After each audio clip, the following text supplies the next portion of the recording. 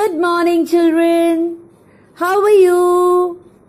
It's time for English class again. Look here. This is your English notebook. Alright? So today I'm going to teach you how to write the cursive letter A. What is the sound of A? Tell me what's the sound of A children? A. Long sound. Okay.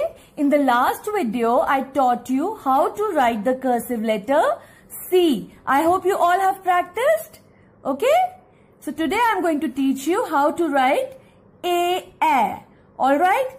Parents are requested to put the dots in the same manner as shown in the video. Okay. So let's get started children. Start from the dot. Join the dots. Make a cursive tail Come down, touch the blue line, make a C, go up, come down, touch the blue line, make a curve. A, A. Again, join the dots, make a cursive tail, come down, touch the blue line, make a C, go up, come down, touch the blue line, make a curve. A, A.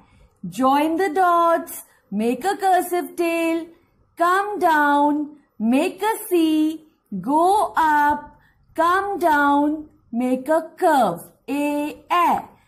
All of you, you have to practice writing the letter A, A at home.